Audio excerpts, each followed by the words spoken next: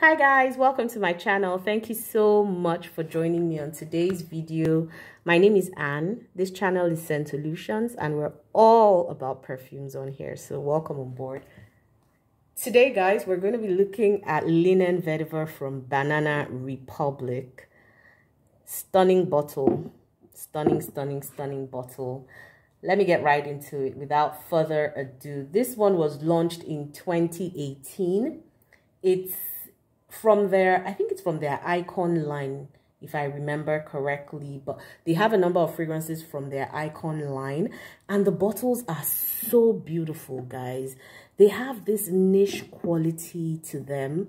They just look so stunning, like very beautiful. It has a magnetic cap that you can just slip right back on. It's got this very nice aesthetic appeal to it very great atomizer as well so you get a very great spray first time. I like it. I like the aesthetic. It's very i don't want to say clean but that's the i know we've we've overused that clean girl aesthetic slang but that's kind of what this feels like. It's so clean and fresh and very it's very minimalist in the way it appears. I like it like it a lot now, what are the notes for this fragrance? You've got bergamot, petitgrain, and cardamom in the opening. You have iris, hyacinth, and water jasmine in the middle. And then at the base, you have vetiver, musk, oak moss, and then crystal amber. So that's the note profile for this perfume. What do I get from Linen Vetiver? I definitely get a very spicy, citrusy opening. The opening is really spicy. I think it's the cardamom, the bergamot that are responsible for that. I get a spicy, citrusy, green type of opening. As it starts to dry down, I get hints of jasmine to be honest. And there's also a slight powderiness that you experience in the dry down. This one goes very well on men and women. I actually prefer this fragrance on my husband. Whenever he wears this, oh my God, stunning.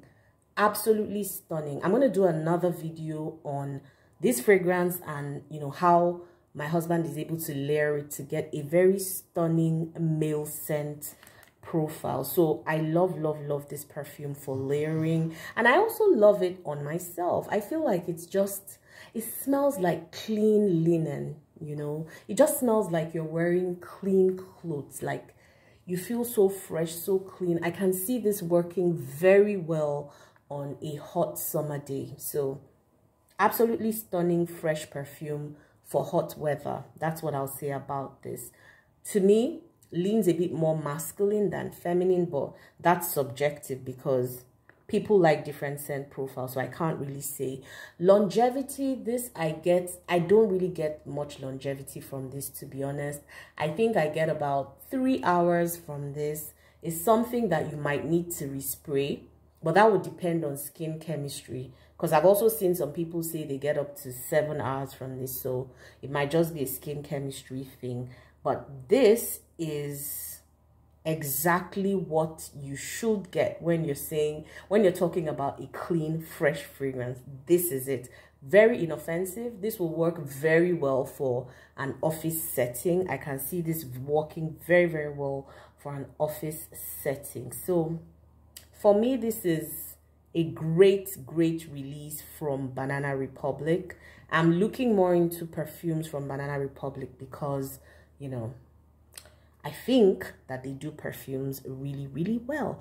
Does this project? I would say that the sillage here is moderate. I know that when my husband sprays it, I smell it when I come a bit close to him. I think I smell it at arm's length as well. So I would say the sillage is moderate.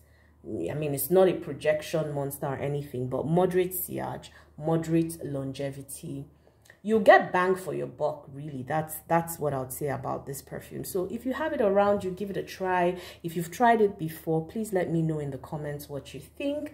Until we see on another video thank you so much for watching and enjoy the rest of your day or night. Bye guys